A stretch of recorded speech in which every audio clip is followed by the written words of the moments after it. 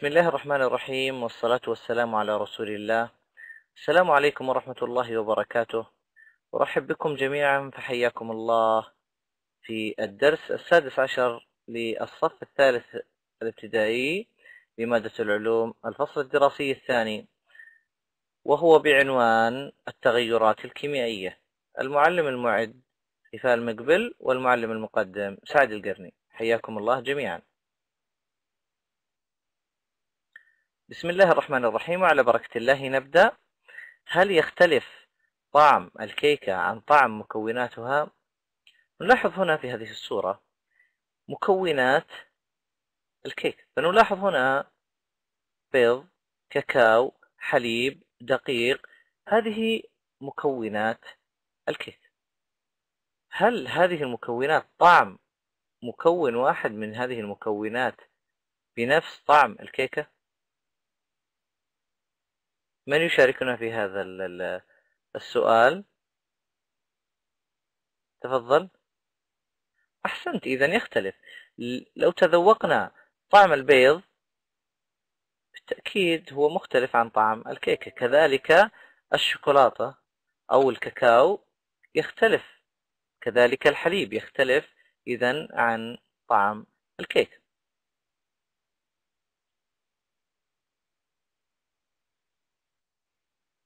نعم هناك فرق بين طعم الكيكة وطعم مكوناته.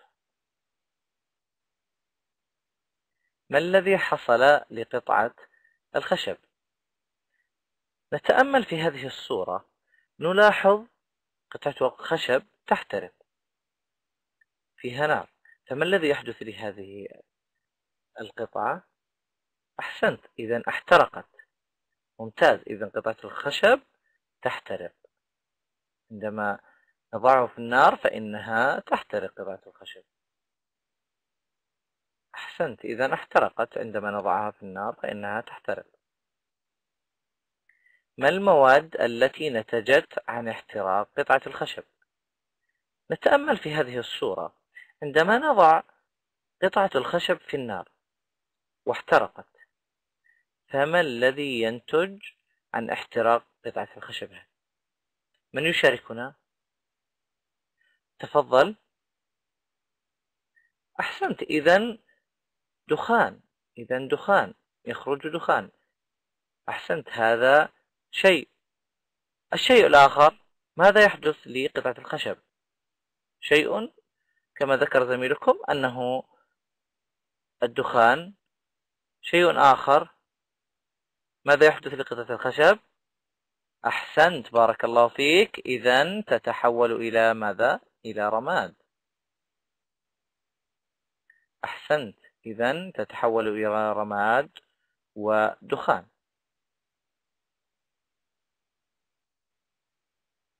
هل الرماد والدخان يشبهان قطعة الخشب؟ نلاحظ في هذه الصورة عندما تحترق قطعة الخشب وينتج الرماد كما ذكرنا قبل قليل الرماد والدخان هل هي تشبه قطعة الخشب قبل الاحتراق؟ أحسنت صحيح. إذا لا تشبه قطعة الخشب. لا الرماد والدخان مواد جديدة تختلف عن قطعة الخشب. إذا الرماد والدخان مواد تختلف عن قطعة الخشب. نتج نتج لنا مواد جديدة بعد احتراق قطعة الخشب. ما نوع التغير الذي حدث لقطعة الخشب؟ عندما تحترق هو تغير كيميائي. يسمى التغير الذي يحدث لقطعة الخشب عندما تحترق تغير كيميائي. ما هو التغير الكيميائي؟ تعريف التغير الكيميائي هو تغير ينتج عنه مواد جديدة تختلف في خواصها عن المواد الأصلية. هو تغير ينتج عنه مواد جديدة تختلف في خواصها عن المواد الأصلية. فمثلا صدأ الحديد من الأمثلة على التغير الكيميائي. نلاحظ هذا السلسال في هذه الصورة أنه تحول وتغير. هنا التغير تغير كيميائي. تحول السلسال إلى صدأ حديد. يختلف هذا الصدى عن المادة الأصلية للسلسال. يختلف الصدى هنا في هذه في هذا السلسال عن المادة الأصلية للسلسال. نأتي الآن إلى التقويم المرحلي. صنف التغيرات الآتية في منظم التصنيف. لدينا مجموعة من الكلمات نريد أن نصنفها. هل هي تغيرات فيزيائية أم تغيرات كيميائية؟ نبدأ. لدينا مجموعة من الكلمات. الأولى هي احتراق الخشب الثانية تشكيل الصلصال الثالثة صدأ الحديد الرابعة تمزيق الورق. نبدأ باحتراق الخشب. من يقول لي احتراق الخشب؟ هل هو تغير فيزيائي أم تغير كيميائي؟ تفضل. أحسنت ممتاز. بارك الله فيك. إذا احتراق الخشب هو تغير كيميائي. إذا احتراق الخشب هو تغير كيميائي لأنه ينتج لدينا مواد جديدة. ننتقل إلى العبارة الثانية تشكيل الصلصال. تشكيل الصلصال. هل هي تعتبر تغيرات فيزيائية أم من التغيرات الكيميائية؟ من يشاركنا؟ تفضل. أحسنت ممتاز. إذا تشكيل الصلصال تغيرات فيزيائية لأنه يتغير شكله ولكن لا تتغير المو... يتغير الصلصال ومكوناته. ننتقل الآن إلى صدأ الحديد.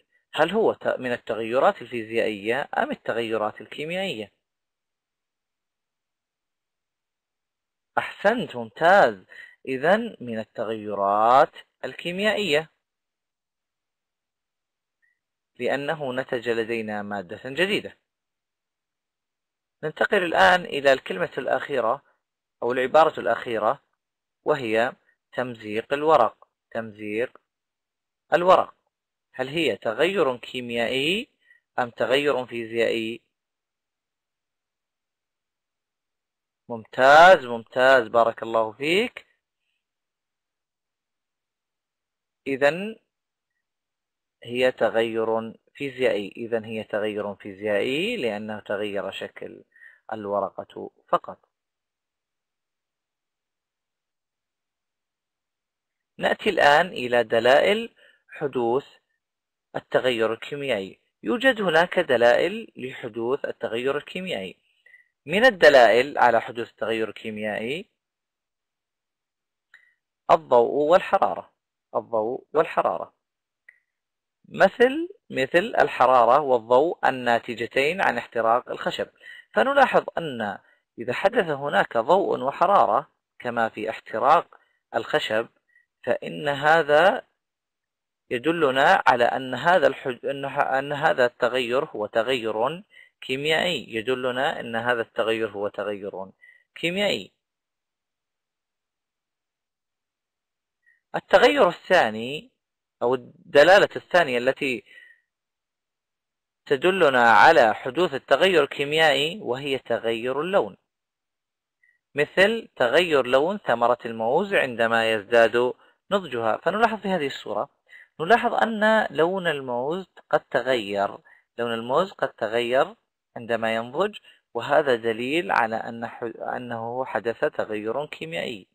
كذلك نلاحظ في هذه الصورة أن التفاح تغير أيضا عند قطعه وجعله فترة من الزمن فإنه يتغير لون التفاح فيعتبر هذا دلالة على حدوث التغير الكيميائي. من الدلائل أيضا على حدوث التغير الكيميائي تكون الغاز مثل الغاز المتكون عند إضافة مسحوق الخميرة إلى الخل. إضافة مسحوق الخميرة إلى الخل فنلاحظ كما نلاحظ في هذه الصورة أنه تكون لدينا غاز تكون لدينا غاز.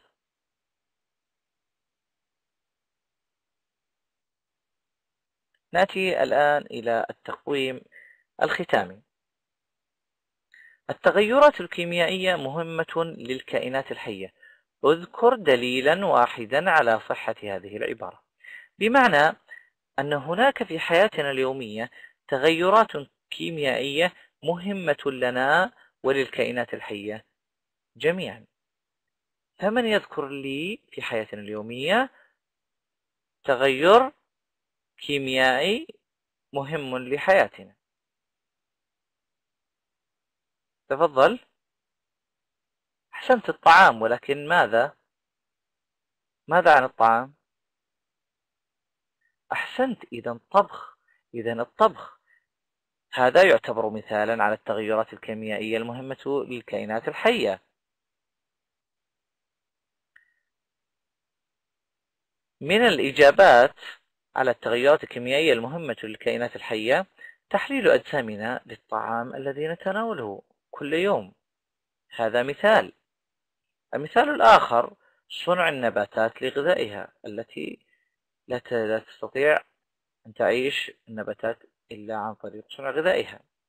المثال الثالث عمليات الطبخ التي ذكرها زميلكم قبل قليل. كل هذه الأمثلة تدل على تغيرات كيميائية مهمة لحياة الكائنات الحية. أشكر الجميع على تفاعلهم وأتمنى أن تكونوا قد استفدتم واستمتعتم بهذا الدرس.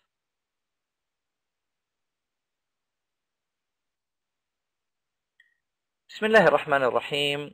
نأتي الآن إلى ملخص للتغير الكيميائي.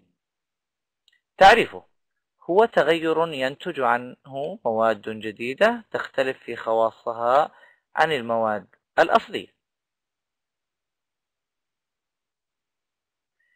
من الأمثلة على التغير الكيميائي صدأ الحديد. هذا المثال الأول. المثال الثاني على التغير الكيميائي احتراق الخشب. المثال الثالث تحليل الطعام داخل الجسم. فجميع هذه الأمثلة ينتج لنا مواد جديدة تختلف عن المواد الأصلية.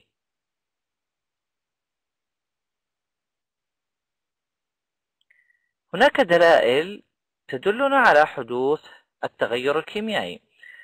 من الدلائل إنتاج ضوء وحرارة كما في احتراق الخشب فينتج عنه ضوء وحرارة وهذا يدلنا على أن هناك تغير كيميائي كذلك تكون الغاز أيضا. الدلالة الثالثة تغير اللون كما يحدث في فاكهة الموز عند نضوجها أو قطع جزء من التفاح وتركه فترة من الزمن. أتمنى أن تكونوا قد استفدتم من هذا الدرس وأستمتعتم به.